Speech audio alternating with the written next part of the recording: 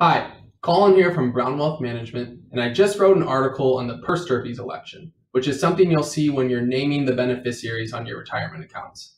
I want to give you a quick rundown on what it is and why it's so important.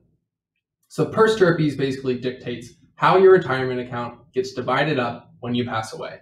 Um, and it only comes into play when you have multiple beneficiaries. So take this for an example. Imagine that you're an account owner, you own an IRA, and that you've elected your two kids, say your son and your daughter, to be the primary beneficiaries, split 50 50. So they're first in line to inherit the account when you die. Um, then imagine that at the time of your death, your son has already passed away. So per stirpes dictates what happens to that portion of the IRA.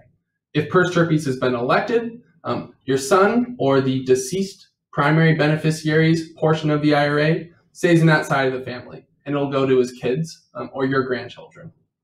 If per stirpes is not elected, this portion of the IRA will go to the remaining surviving primary beneficiary or your daughter. Um, this side of the family would get nothing. This side of the family would get the entire account.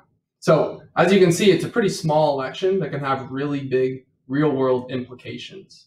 We find that a lot of people don't understand this or they simply brush it aside as they're kind of thumbing through the new account paperwork but you want to make sure you get this right. Um, your retirement accounts do not fall under your trust or your will.